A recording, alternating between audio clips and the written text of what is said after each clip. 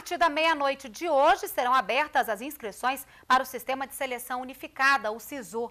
Podem participar estudantes que fizeram o Enem no ano passado. O sistema encaminha candidatos para mais de 108 mil vagas distribuídas em universidades e institutos federais de educação profissional. A secretária Micheline Ursino é casada, tem dois filhos e, depois de muito tempo, resolveu voltar a estudar.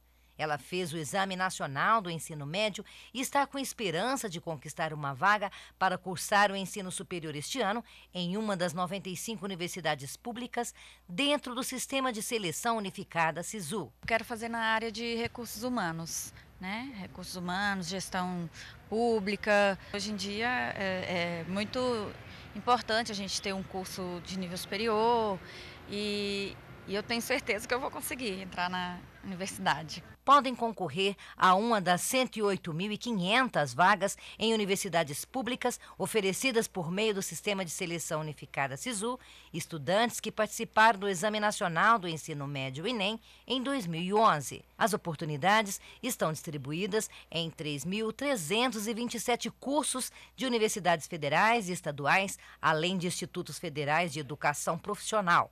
As inscrições podem ser feitas a partir de meia-noite desta sexta-feira até o dia 12 de janeiro. E no dia 14 de janeiro, os estudantes têm uma nova chance de ingressar no ensino superior com as inscrições para instituições particulares por meio do programa Universidade para Todos, o ProUni.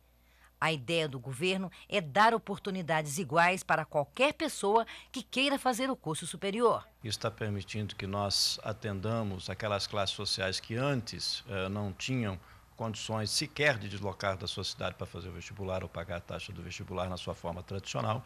Então, o exame nacional realizado hoje através do SISU, ele permite que nós tenhamos um ensino superior cada vez mais justo e permitindo o acesso daqueles que se qualificam fazendo o Enem, como é o caso desse ano, aqueles que tiverem feito o Enem 2011. Este ano haverá duas chamadas, tanto para os inscritos no SISU como no PROUNI. O resultado da primeira chamada será no dia 15 de janeiro. Os estudantes aprovados deverão comparecer às instituições de ensino entre os dias 19 e 20 para fazer a matrícula. A segunda chamada será no dia 26 de janeiro, com matrículas entre os dias 30 e 31. Caso ainda hajam vagas disponíveis, o sistema gera uma lista de espera. O candidato interessado em participar dessa lista deverá pedir a inclusão entre 26 de janeiro e 1 de fevereiro. Para fazer a inscrição a partir da meia-noite de hoje, basta acessar a página eletrônica do Ministério da Educação.